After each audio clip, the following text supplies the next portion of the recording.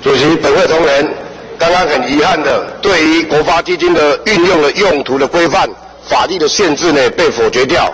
但是反观到本条文对于国发基金的一个筹措来源呢，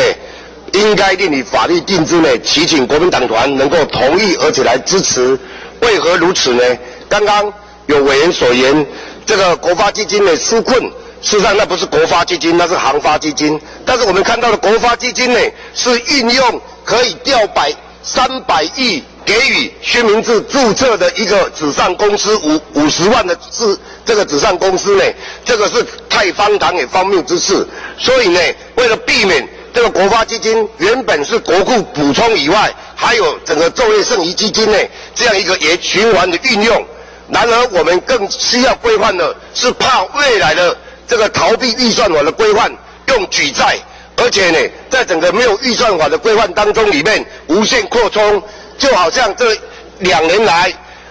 国民党政府一直要把国发基金从过去的两千亿扩充到八千亿，甚至扩充到一兆，甚至不惜要动用到外汇存底成立主权基金。如此可见一斑，对于这样可以上下其手，而且没有法律规范呢，可以予以专案何可，甚至呢黑箱作业的作为呢。本席都期期以为不可，本党团也特别祈请，将来国发基金这个除了作为剩余以及国库拨用以外，应该按照预算法的规范，甚至呢也应该避免举债，所有的资金来源应该纯粹回归到一般预算的一个审核机制，而不是呢大开方便之门，让国发基金的操作者可以予取予求，